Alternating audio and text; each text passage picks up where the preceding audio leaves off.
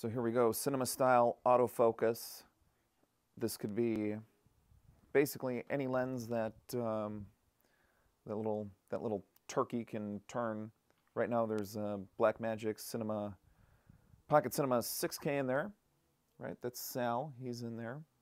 And um, here's our LiDAR, we're running it out front.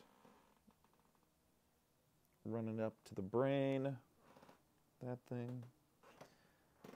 We got the tilt um, sandwich. I'm also using, because, so, right, DTAP power for the uh, transmitter, but I'm also using this tilt um, uh, battery plate because I've got to go power to DTAP power to the brain, and I got to go DTAP power to the camera. So that's how I solve that. You got your little DJI motor. That'll better work on bigger glass, if they say it does.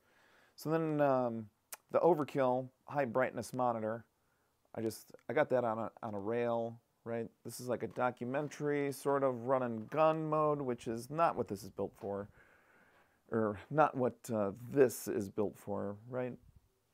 But um, yeah, got the machine gun strap.